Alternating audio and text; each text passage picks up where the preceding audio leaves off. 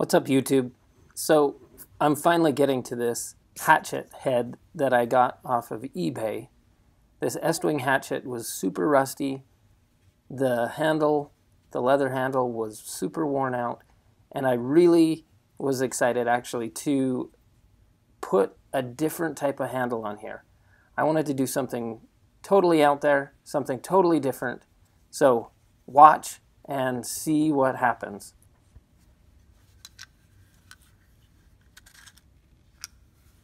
Now this leather handle, like I mentioned, was super worn out. These leather discs were way crusty. started to crumble. I think some of them were even rotting from inside. And you can see there that there's a mega amount of rust inside. This handle was just getting worse and worse. All the more reason to really replace it.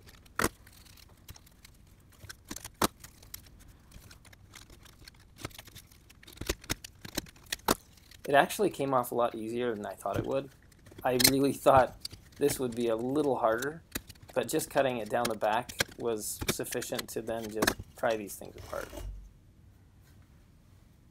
At this point I wasn't sure what I would do with the end of the handle, but I knew I needed to get it off to, to do what I wanted to do.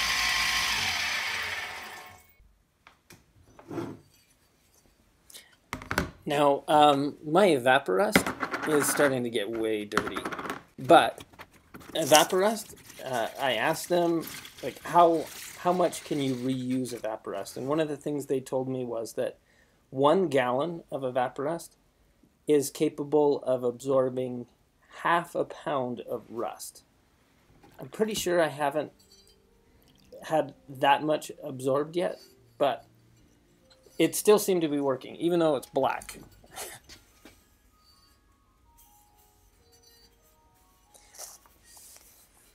now, you can hear, as it happens frequently on my videos, you can hear uh, tinklings of pianos in the background. Uh, my wife's a piano teacher. My kids love to play, play the piano, so you'll often hear that in the background. Sometimes when I'm doing it fast, you can hear it playing fast because the piano is not too far from the garage. Even though the doors are closed, especially my oldest son, he really likes to hammer away on the piano.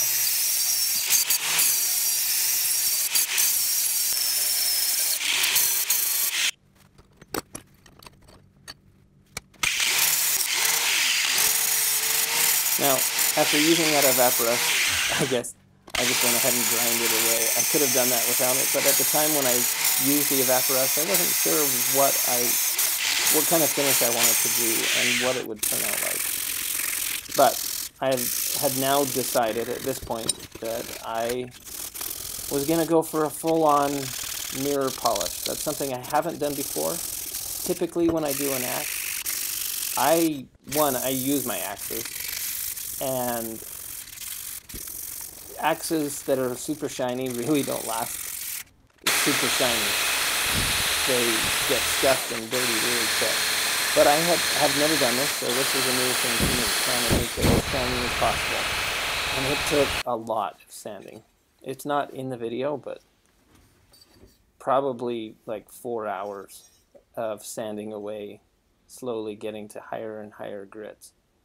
But I am happy with the finish. I am happy with how it turned out. And and it was kind of fun doing. So now you guys get to see what I'm going to do with this handle.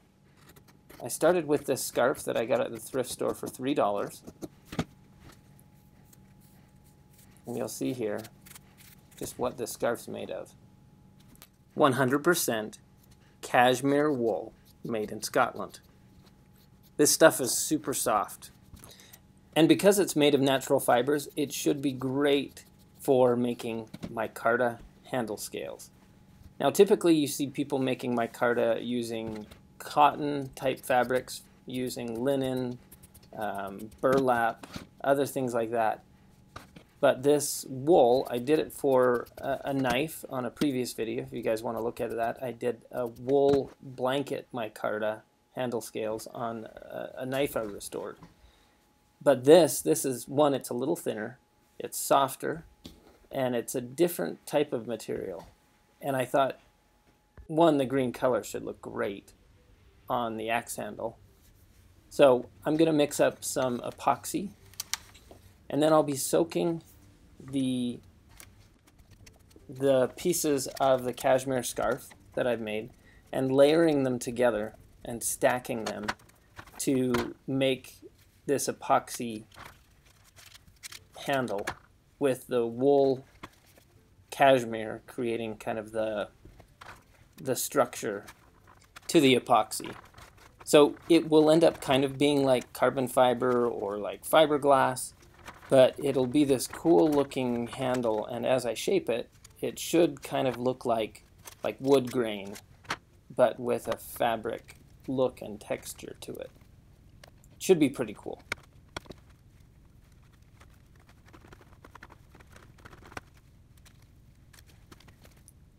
So now that I've got it stacked, I had some leftover epoxy, so I just kind of dumped it out on top, hoping that it would all kind of ooze in throughout as I compress it. I'm going to compress it and leave it for a day to cure.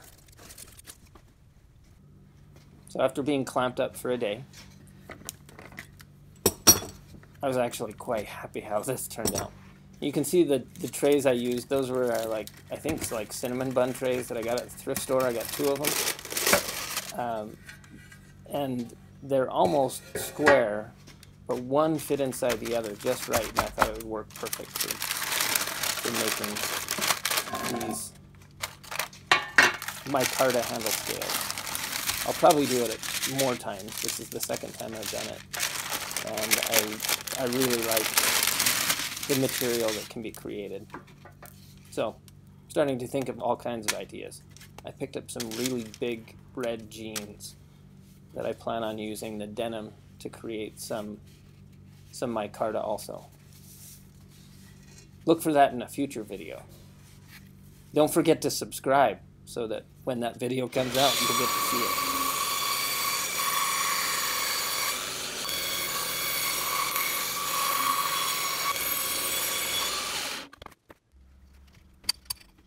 So now I've got to decide what shape I want to make the handle. I want to make sure that it fits. I'm going to put the end cap on the end of the handle. I don't plan on attaching it the way it was attached before though. So I got myself my little template, cutting it out. Dark things, a white pencil crayon in your shop is a good thing to have. This white pencil crayon, crayon comes in handy on these darker materials, where a pencil or a pen just doesn't quite cut it. Back to the bandsaw.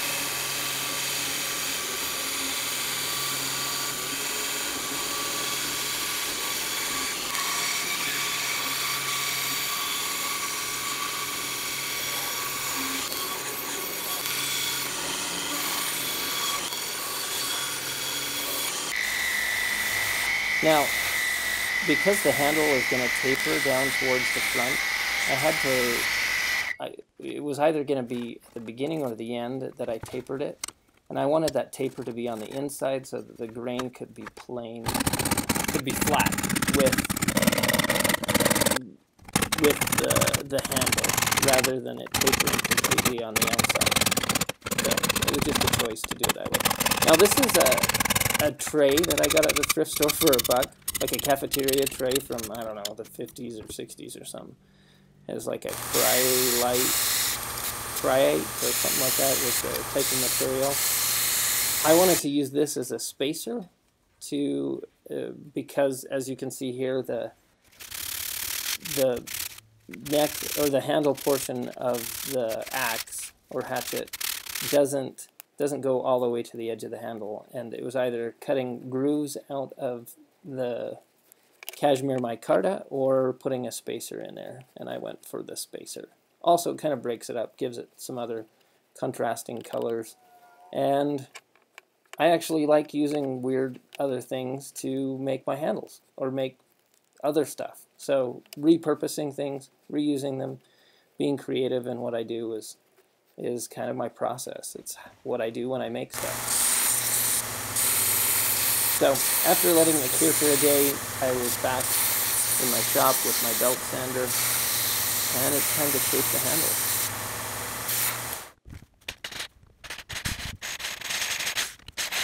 I put the end cap on just so that I can shape to that, and uh, plan on just leaving it in there, just with these screws that I used. Maybe not the prettiest, but it's what I have.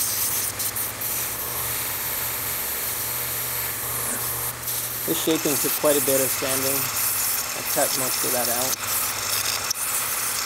But it shapes really easy. I'm using a 80 grit belt on this and it uh, cleaned off really quick. Then I just hit it with first 100 grit sandpaper and then 120 I did actually go to a 220. With the 220, it made it too smooth. Um, because this is cashmere, the when I cleared it off here after the 120, it was really soft. Really soft, but felt solid in the hand and grippy at the same time. So I considered it done and uh, now it was time to make a sheath. So off camera I made this little template and then I wanted to cut it out of a single piece of leather. Um, I don't like to waste leather. I do what I can to not be wasteful. As a Boy Scout, I'm, I'm frugal, thrifty in what I do. I actually really like leather work. Um, I like practical nature of leather. I really like how it looks. I like the aesthetic. And I, I just like using it.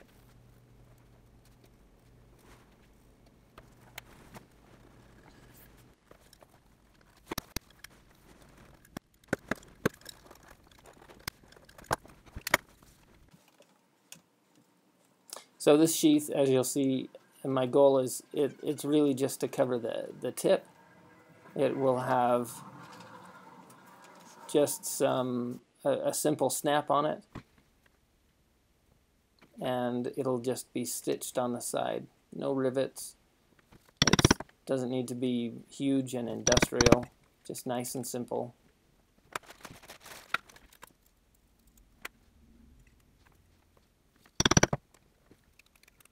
That quick little bit there was me putting a needle in the first hole just to hold hold everything in place so that I can punch the holes consistently. I just do a quick stitch of it. I use um, artificial sinew. It's kind of a waxed nylon thread. Oh, here I'm putting the snap in actually, sorry, before I stitch.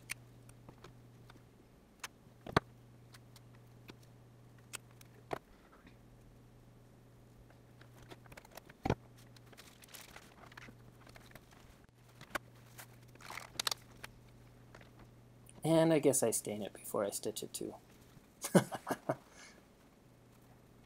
now this stain that I'm using um, also has like a, a, wax in it for buffing it. So you can buff the leather when it's done to give it kind of a, a sheen instead of a, a, dual coat. So you, you can get them in, in types where you stain and then you put kind of a wax coat on after this. This stain has both in it. It's quick, easy. It's maybe not necessarily the prettiest, but it works. Here, I'm just thinning out that um, the spot for the the snap. I wanted to make sure it was able to clear the grommet and snap together real well. Now I'm stitching, as you can see. And again with um, double layer thick of artificial sinew.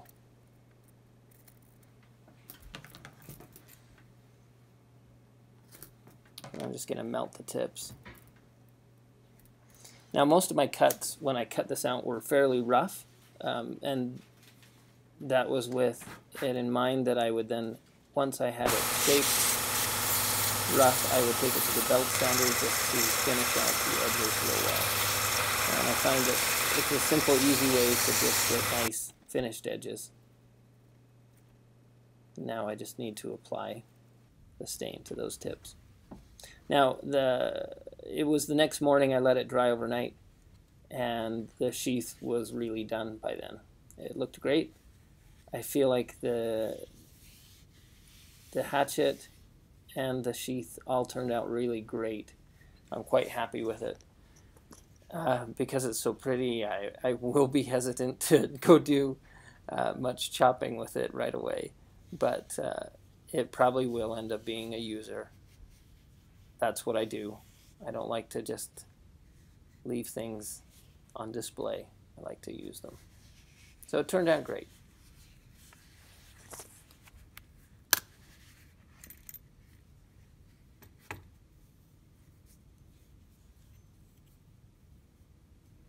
Look at that reflection. Beautiful.